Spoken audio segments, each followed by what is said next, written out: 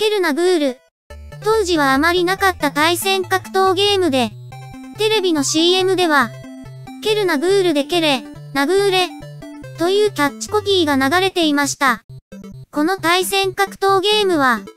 コマンド入力による必殺技がなく、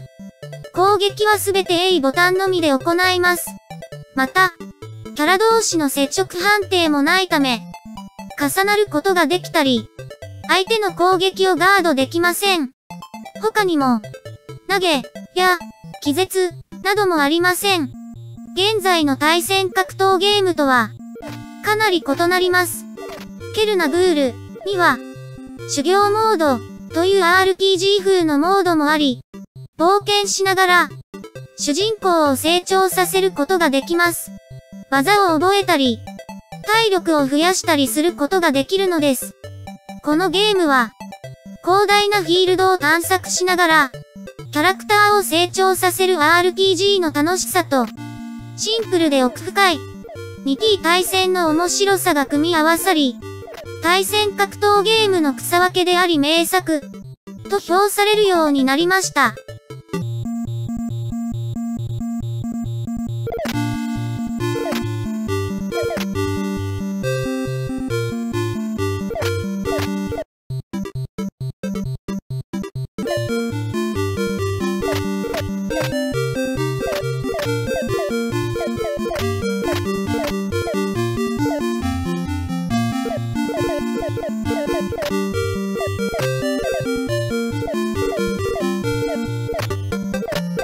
十兵衛クエスト。主人公の十兵衛と三人の仲間が力を合わせて魔界衆の野望を打ち砕くため摩訶不思議な戦国ワールドを冒険するオーソドックスな RPG です。本作は怪獣物語と同じバースデイの開発でアイテムによるキャラクターチェンジや通常時と瀕死時で敵キャラの行動が変わるといったシステムが導入されています。このゲームはボリュームが多く、全体で12章もあるため、かなりのボリュームがあります。長期間楽しむことができるため、長時間プレイを楽しみたい人には、喜ばれるでしょう。ただし、戦闘のバランスは大雑把で、円カウントが多すぎたり、操作性が悪かったり、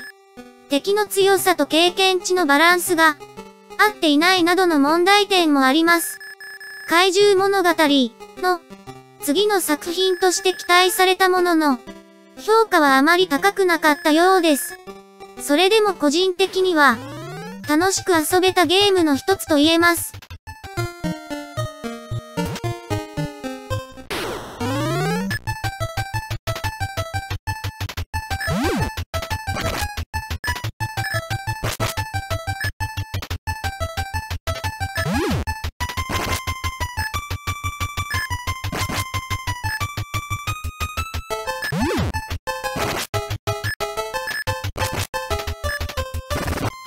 イドライド3、闇からの訪問者。ハイドライドシリーズの完結編であり、ファミコンへの移植版です。前作までの理不尽な難易度は低くなり、家庭用向けに一部簡略化されています。このアクション RPG の最大の特徴は、時間と重さの概念がある点です。1日が24時間で、昼、夕方、夜、昼と時間が経過します。時間によっては食事をとる必要があり、忘れると HP が減ってしまい、最悪の場合は餓死してしまいます。また、時間によって、モンスターの強さも変化します。日中は気にもならなかった敵が、夜になると強敵になることもあります。すべての持ち物には重さがあり、お金にまで重さが影響します。プレイヤーには持てる重さに上限があり、敵を倒してお金を手に入れた結果、動けなくなることもよく起こります。時間と重さの概念の導入により、計画的な行動が必要となり、適度な緊張感とテンポが生まれました。ただし、ドラクエ、などと比べると、はじめは遊びにくいと、感じる人も多いかもしれません。しかし、慣れてくるとこの要素が、たまらなく面白く感じてきます。BGM も神曲が多く用意されており、もし未プレイの人がいれば、ぜひプレイしてみてほしい。おすすめの一本です。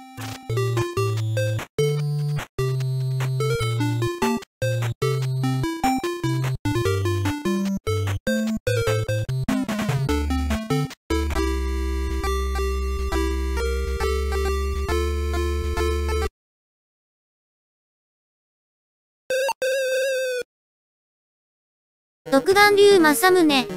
歴史シミュレーションゲームです。大河ドラマと同じタイトルですが、内容は特に関係ありません。プレイヤーは伊達正宗となり、王羽のすべての大名を倒して、統一することが目的です。メイレイはシンプルで、8種類のアイコンを選択して進めていきます。シミュレーション初心者でも、とっかかりやすい仕様です。コミカルな世界観の戦国シミュレーションで、重々しさがなく、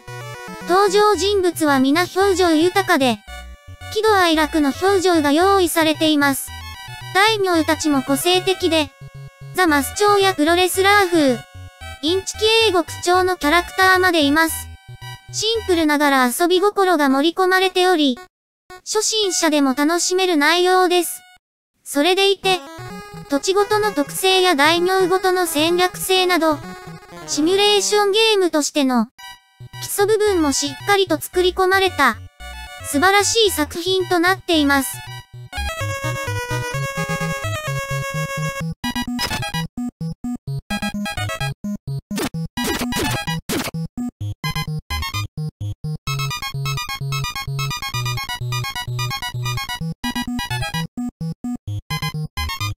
ァミリーボクシング。ファミコンで初めて登場した。シンプルなボクシングゲームです。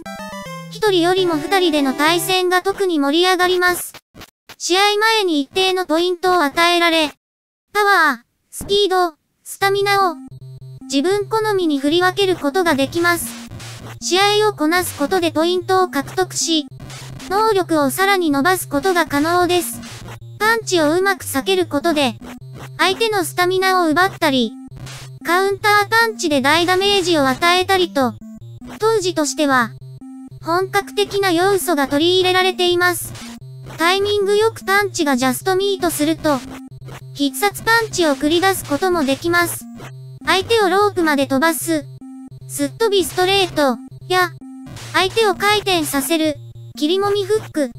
さらには相手を空高く飛ばす、吹っ飛びアッパー、など、一発逆転の可能性を秘めています。シンプルながらも駆け引きが熱い作品で、私は本当にアホみたいに、ずっとプレイしていました。とても面白いですよね。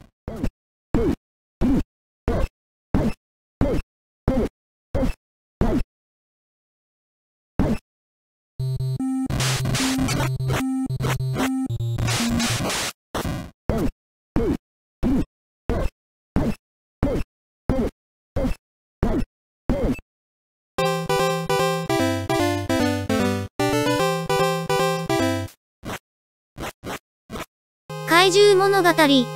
悪の化身である大魔王ハットバジャーを倒すため、迫り来る魔物たちを退け、罠や謎に立ち向かっていく、オーソドックスな RPG です。キャラクターデザインが魅力的で、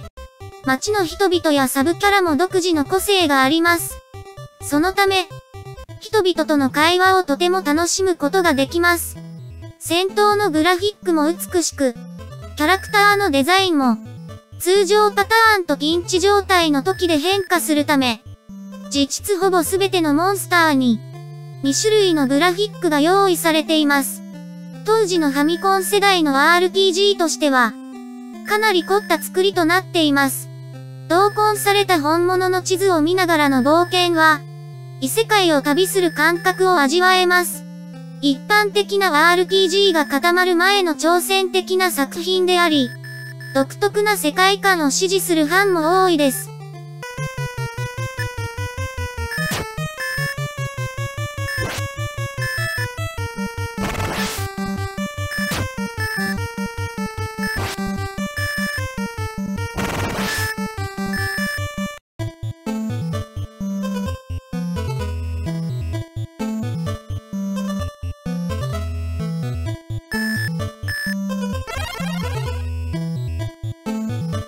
国志2、覇王の大陸、三国志、中元の覇者の続編として登場した、三国志2、覇王の大陸は、より本格的な内容に進化していますが、メイレイ書による内製システムなどの特徴的な要素はそのまま受け継がれています。前作同様に中国全土の統一を目指すのが目的です。時代設定が前作よりも遡ったことで、最強の呂布などの人気武将が追加されました。さらに、三国志の後期に登場する、芝将や当該などの武将も登場するため、ゲームが長引いても楽しめます。初心者向けにカジュアルな作りになっており、情報集めをしておけば、困った時でも大丈夫です。宝が手に入ることもあり、中精度を上げたり、必要な時に換金できるなどの利点があります。前作よりも本格的な内容となっており、グラフィックや BGM も高く評価されています。ファミコンのシミュレーションゲームとして完成度が高く、光栄の三国志シリーズより、初心者にはすごく、とっつきやすい作品となっています。